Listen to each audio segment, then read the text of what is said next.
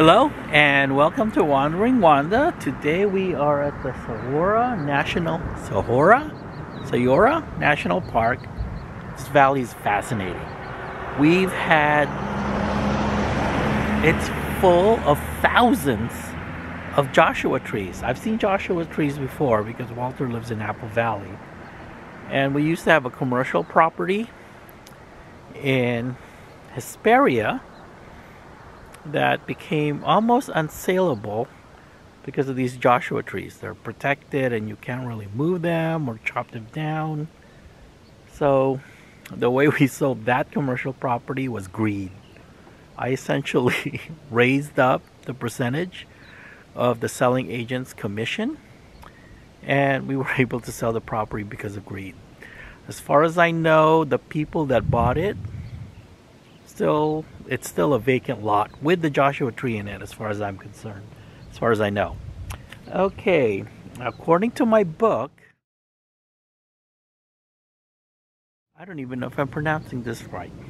Sayora National Park, this unique desert is home to the most recognizable cactus in the world, the majestic Segura. I've always called them Joshua trees.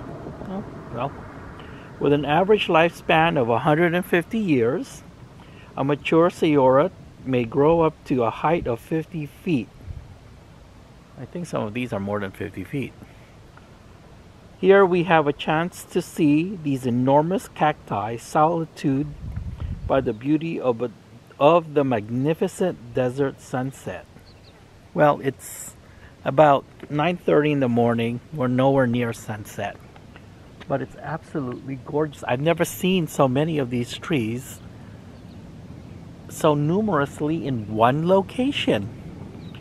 Right, we're gonna go get my stamp and hopefully there's a sticker for this.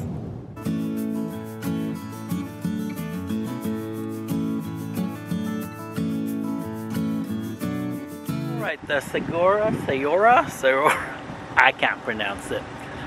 The Cactus National Forest does have RV parking. As you can see, it can fit a 26 feet Airstream plus truck. That's about it. So not too big of a space if you're an A-class with a tow vehicle. You will not fit it.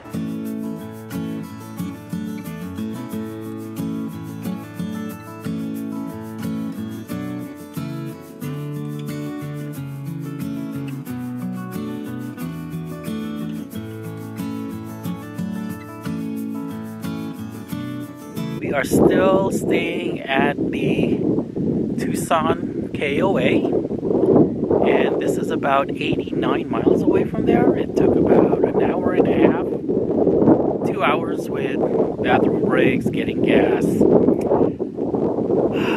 Alright, the Coronado National Monu Monument, originally planned to discover the famous seven cities of Cibola, expedition